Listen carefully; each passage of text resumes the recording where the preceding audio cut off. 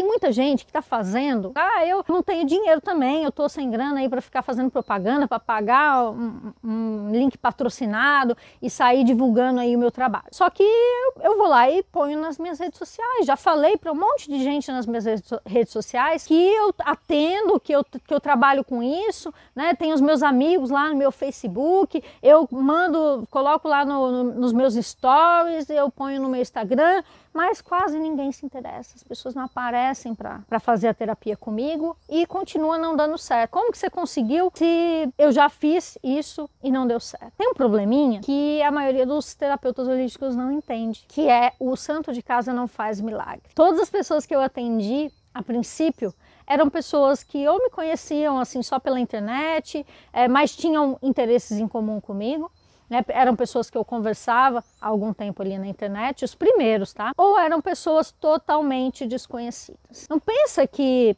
eu atendi o meu pai, a minha mãe, os meus parentes, os meus amigos quando eu comecei. E não pense que você vai conseguir também através dessas pessoas.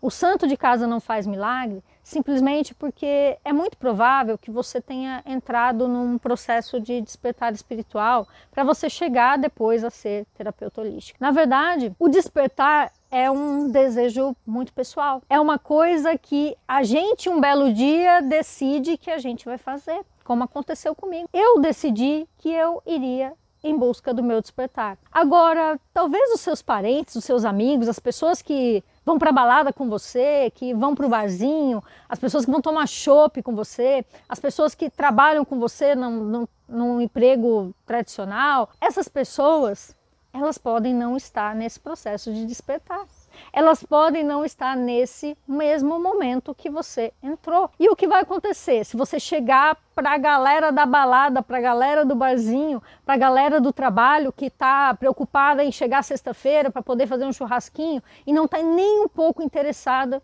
em espiritualidade, essas pessoas que não estão querendo isso, elas vão pensar que você ficou louco, que você virou um místico e vão rir da sua cara elas obviamente não vão querer contratar porque elas não estão na mesma vibe que você.